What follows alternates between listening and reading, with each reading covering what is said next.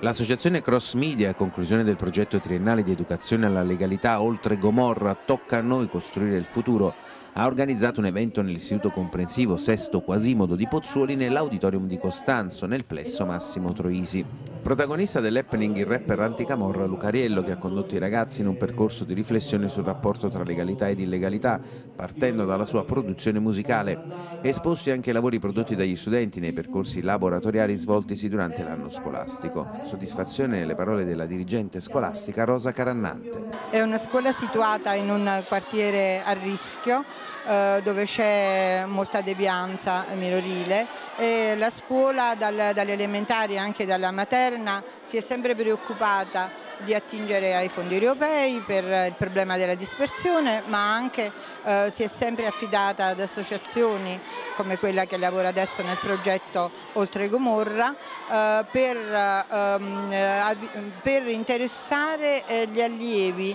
ad attività che li coinvolgano positivamente perché eh, bisogna prevenire la dispersione a cominciare dalla scuola materna elementare, bisogna eh, coinvolgere i genitori e se i ragazzi sono impegnati nel fare scuola dal mattino al pomeriggio nelle varie attività eh, che la scuola può organizzare,